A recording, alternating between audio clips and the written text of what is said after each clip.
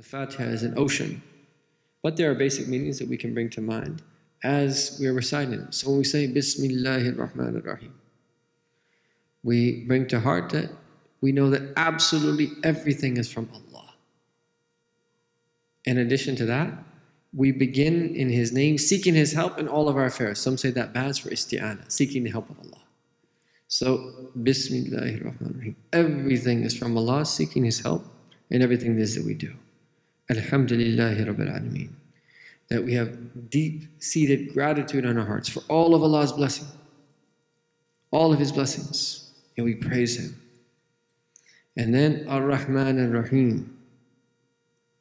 And again, we've already said Ar Rahman Rahim and Bismillah Rahman Rahim. And now we're even repeating a second time, emphasizing the centrality and the importance of mercy.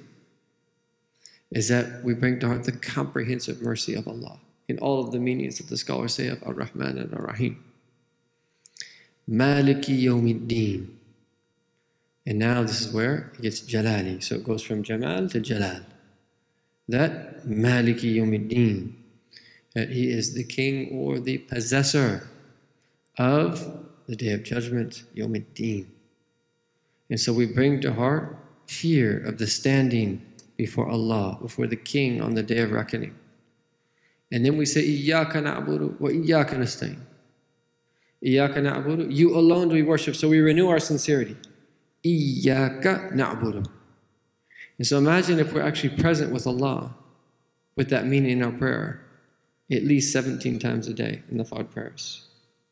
How that will help us to have sincerity in everything that is that we do and actually renew our sincerity before every act. وَإِيَّاكَ نَسْتَعِينَ and that we also, that second part of that verse, and we're aware of our absolute need of Allah. Now we seek His help.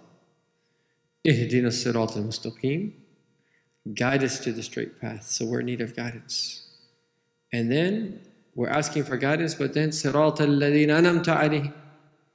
We know that Allah subhanahu wa ta'ala, there are people that He has guided, that He's bestowed His favor upon. Those are the people that we want to be like. And here, what are we intending? So we say, Ihdina siratul mustaqim, siratal ladina an'amta alayhim. Alladina an'amta alayhim. Those who you bestowed your favor upon. And we know uh, in another verse, Allah Ta'ala says that وَمَن يُتِئِ اللَّهِ الرَّسُولِ فَأُولَٰئِكَ الَّذِينَ أَنْعَمَ اللَّهُ عَلَيْهِمْ So again, there's a mission of in'am. أَنْعَمَ اللَّهُ عَلَيْهِمْ Allah has bestowed His grace upon them. مِنَ النَّبِيِّينَ وَالصِّدِّقِينَ وَالشُّهَدَاءِ وَالصَّالِحِينَ Four categories. So what is our intention? None of us can be prophets. But when we say, Ihdina siratul mustaqim, siratal ladina namta where is our aspiration? Do we just want to be good? Or is our aspiration to be from the salihin? Is our aspiration to be from the shuhada? Or is our aspiration to be from the siddiqeen? We should make the intention to that Allah Ta'ala make us from the elect of the elect of His creation and that we want to not just be from the lower ranks of those that He's bestowed His favor upon, but those who have high ranks. So we should make that intention every time we recite the Fatiha. صراط الذين أنعمت عليهم غير المغضوب عليهم ولا الضالين the two main archetypes of misguidance. The مغضوب عليهم are those who have incurred Allah's wrath. They know, but they fail to put into practice. And the ضالين are those who go astray without knowledge. Those are the main two archetypes of the different ways that people go astray.